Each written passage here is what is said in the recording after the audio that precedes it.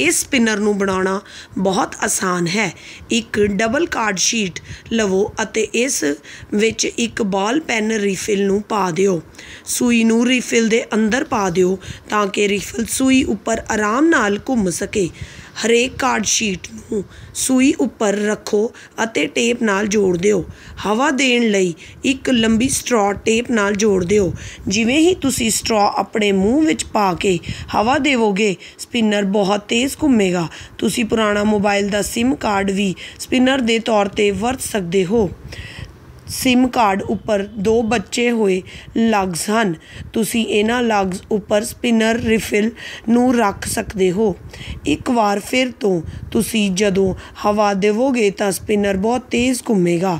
ਇਹ ਪੁਰਾਣੇ sim card ਦੀ ਬਹੁਤ ਵਧੀਆ ਵਰਤੋਂ ਹੈ।